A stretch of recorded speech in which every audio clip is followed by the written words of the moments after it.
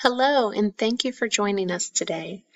I really appreciate you taking the time to learn all about the Logan's online ordering app. My name is Beth, and I'm with the app design team. Today, I will be leading you through a prototype of this new innovative app that might fit the needs of your business.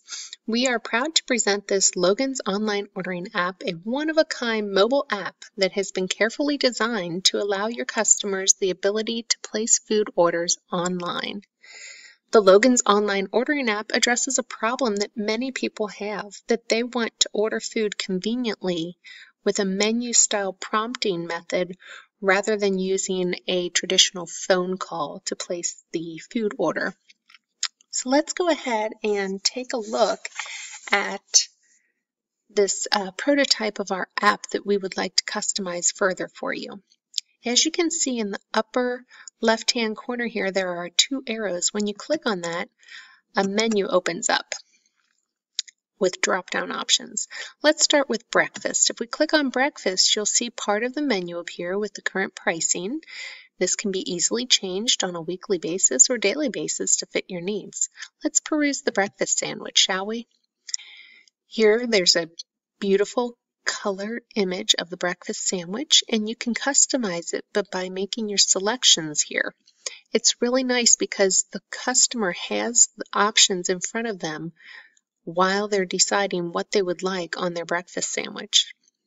Uh, as you're reading through this, you might think, oh, that's not going to be enough food. Just simply go back to the main menu here, click breakfast again. Maybe you're feeling a little more hungry than a basic breakfast sandwich and you want to try Jean's breakfast sandwich, or Jean's breakfast rather. In Jean's breakfast, you'll see that it comes with two pieces of Gouda, two fried eggs, but it allows your customer the option to select what type of way they would like their eggs prepared. And it also instructs them that if they don't want a particular item, they would simply click on it to deselect that item. From here, they could add it to the cart, and it takes them back to the menu. At this point, they might want to be thinking about lunch.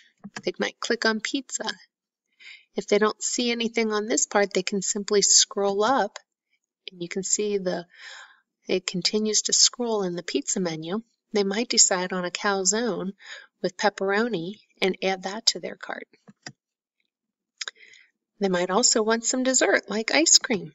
When they click on this, they have the option of selecting the size, the flavor of ice cream, and various toppings that they would be interested in.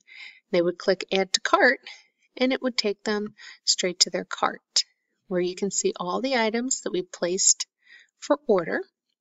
They would simply select Proceed to Checkout, where they would be prompted to enter their name, address, phone number, decide if they want pickup or delivery, whichever option. They could also decide if they want to proceed as a guest or create an online account. This would be ideal for uh, creating a better customer base and offering promotions and other options to the customers that create accounts. Selecting Next, it prompts them to enter their credit card information, eliminating the need for any cash transactions at your place of business. Then they would select Submit the Order and receive a thank you message explaining when their food will be available for pickup. Now this is just a prototype because we want your feedback on this product so that we can best customize it to meet your needs. I feel confident that our final design and further iterations of this prototype would be more fluid they would have more options to actively select different ingredients, and it would include more menu items. We've just started with a basic format to make sure that we are on the right track at this point. And finally, I hope that you consider staying current with the changing demands of your customer base. We look forward to working with you to better develop this app so that it can be a product that can, you can use for years to come. Thank you for your time.